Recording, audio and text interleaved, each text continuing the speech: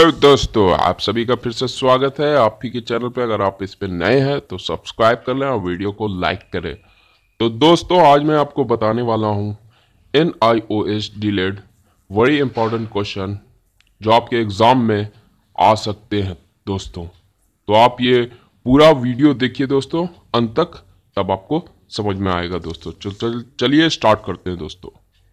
हाँ तो दोस्तों, ये पहला प्रश्न है कि कंप्यूटर क्या है? इसके मुख्य कार्य का वर्णन करें। तो दोस्तों, कंप्यूटर एक इलेक्ट्रॉनिक मशीन है और जिसमें अतिरिक्त आंकड़े, इसको रॉ डाटा बोला जाता है, प्रयोग करने वाले द्वारा डाले जाते हैं। वह इन आंकड़ों को दिए गए निर्देश के अनुसार, जिन्हें प्रोग्राम कहा जाता है, में कंट्रोल के अंदर प्रोसेस करता है। परिणाम देता है तथा परिणामों को भविष्य में प्रयोग हेतु भंडारण, जैसे स्टोर बोलते हैं, कर लेता है। यह आंकिक तथा गैर आंकिक दोनों प्रकार के आंकड़ों को प्रोसेस कर सकता है। आंकिक मतलब गणितीय तथा तार्किक। दोस्तों, हर कंप्यूटर पाँच मुख्य कार्य करता है और यह आकार या किसी कंपनी का है, उस पर आधारित नहीं रहता है। तो इसके पाँच मुख्य कार्य क्या है? इनपुट द्वारा दिए गए आंकड़ों को स्वीकार करता है, आंकड़ों का भंडारण करता है, प्रयोग करने वाले की आवश्यकता अनुसार उन आंकड़ों को प्रोसेस कर सकता है।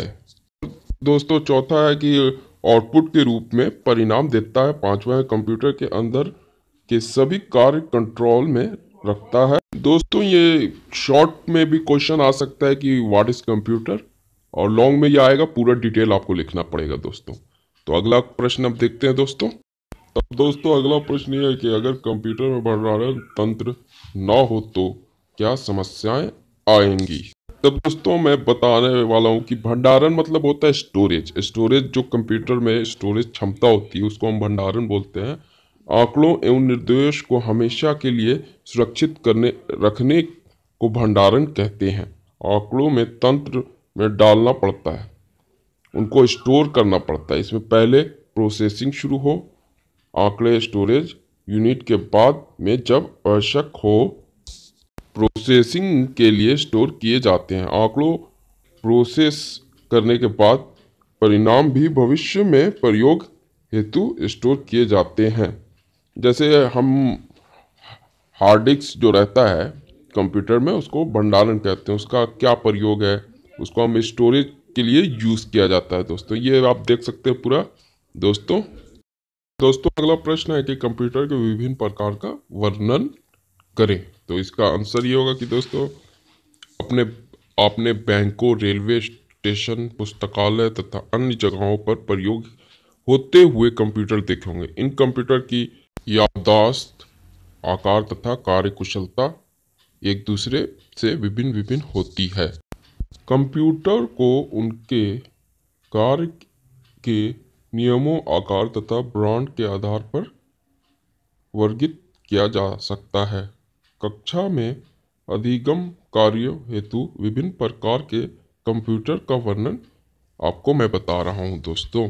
मेनली दोस्तों कंप्यूटर चार तरह के होते हैं। माइक्रो कंप्यूटर होते हैं मिनी कंप्यूटर होते हैं मेन फ्रेम कंप्यूटर होते हैं और एक सुपर कंप्यूटर होते हैं। तो चलिए दोस्तों, इनके कार्य के बारे में जानते हैं। इनका क्या कार्य होता है? हाँ तो दोस्तों, पहला जो है माइक्रो कंप्यूटर माइक्रो कंप्यूटर गति तथा स्टोरेज क्षमता में कंप्यूटरों से सबसे नीचे स्तर पर होता है। पहले माइक्रो कंप्यूटर आठ बिट माइक्रो प्रोसेसर चिप्स से बनाए गए थे। व्यक्तिगत कंप्यूटर पीसी की सबसे सामान्य एप्लीकेशंस इस वर्ग की है। पीसी में कई इनपुट तथा आउटपुट यंत्र होते हैं दोस्तों। आठ बिट चिप्स की संशोधित किस्म 16 बिट तथा 32 बिट चिप्स हैं। माइक्रो कंप्यूटर के उदाहरण आईवी राय पीसी तथा पीसी एटी है। दोस्तों, आप माइक्रो कंप्यूटर के बारे में जान गए, आप जानते हैं मिनी कंप्यूटर के बारे में। तो अब दोस्तों मिनी कंप्यूटर के बारे में स्टार्ट करते हैं। इनमें, इन्हें एक समय पर एक से अधिक उपभोक्ता के प्रयोग करने के लिए बनाया गया है। इसमें अधिक भंडारण की क्षमता होती है स्टोरेज की क्षमता, तथा अधिक गति से कार्य करते हैं। मिनी कंप्यूटर बहुउपयोगिता तंत्र में प्रयोग किए जाते हैं, जहाँ विभिन्न उपभोक्ता एक ही समय पर कार्य कर सकते हैं।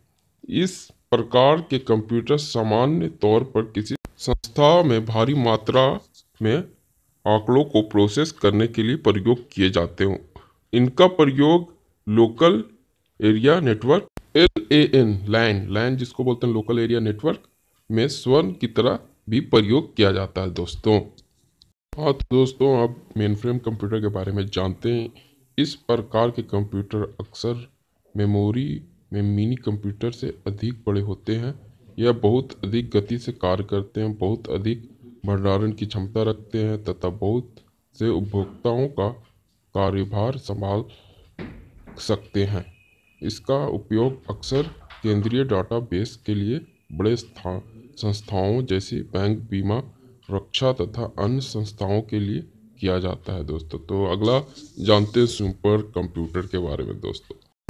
दोस्तों, ये जो सुपर कंप्यूटर है, ये सबसे तेज तथा सबसे बहुत महँगी मशीन होती है। अन्य कंप्यूटरों के मुकाबले इस, इनकी बहुत अधिक प्रोसेसिंग गति होती है। इनकी मल्टी प्रोसेसिंग तकनीक भी होती है। एक विधि जिनके द्वारा सुपर कंप्यूटर का निर्माण किया जाता है, वह है सैकड़ों माइक्रो प्रोसेसर को मिलाकर। सुपर कंप्यूटर का मुख्य उपयोग मौसम का हाल जानने वायो मेडिकल्स अनुसाधन, remote sensing, aircraft design तथा विज्ञान एवं तकनीक के अन्य क्षेत्र में किया जाता है दोस्तों। तो आपने जाना है चारों कंप्यूटर के बारे में दोस्तों, तब ऑब्जेक्टिव क्वेश्चन को जान लेते हैं।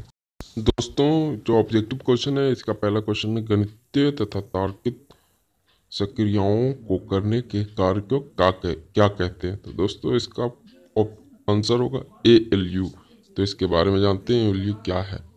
दोस्तों एल यू क्या है कि गणितीय तार्किक जो होता है एल यू जब आप आंकड़े इनपुट डिवाइस द्वारा अंदर डालते हो तो यह प्राथमिक स्टोरेज इकाई में रखे जाते हैं।